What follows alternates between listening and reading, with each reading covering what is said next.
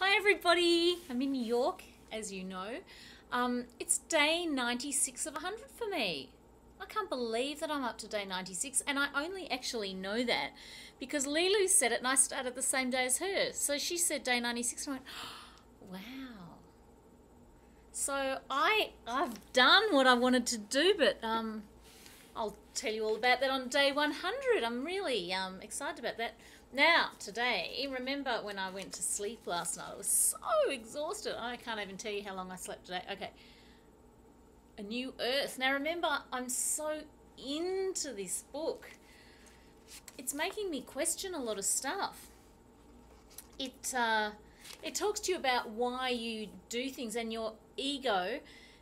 And it put a question to, to me, and it was like, why do you, or it doesn't say it like this, but this is how I've interpreted it, talking about your ego and why you do certain things, why you wear certain clothes, why you do whatever.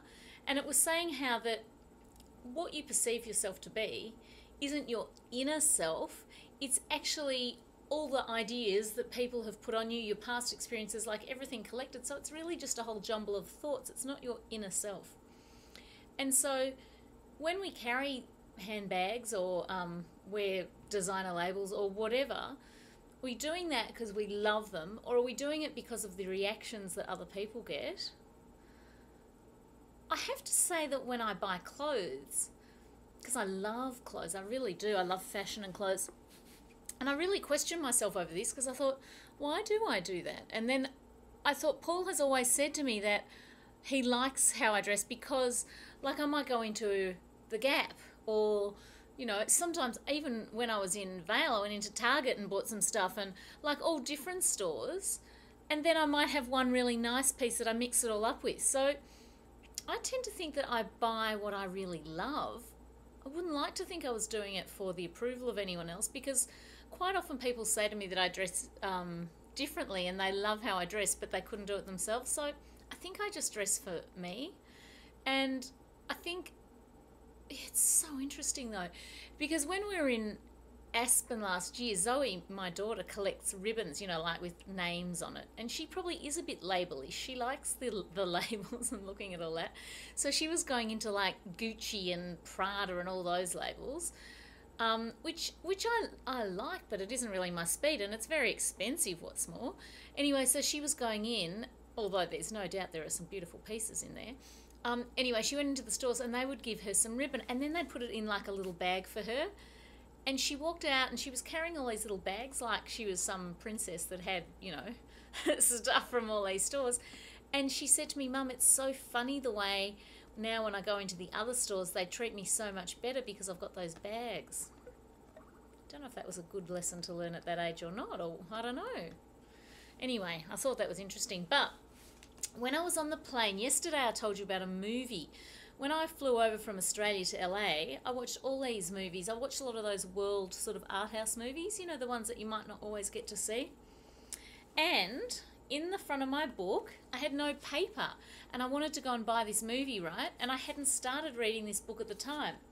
So in here, I wrote the name of it. It's called As It Is in Heaven and it's Danish.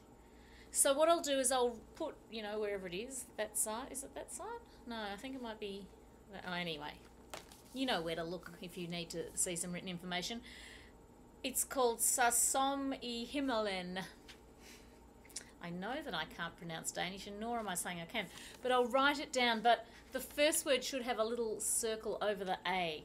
But it had subtitles and all that, and the, it's about a guy who was a famous conductor and he has these this heart attack and he decides that he wants to live a simple life. He doesn't necessarily want to have all the glamour and the and and knowing what he's going to do for the next 10 years. So he goes and he moves back to his hometown where he had had a, a childhood where kids used to tease him because he played the violin and stuff so he goes back and he just buys the old school building, and no one really remembers who he is. And they approach him to teach the church choir.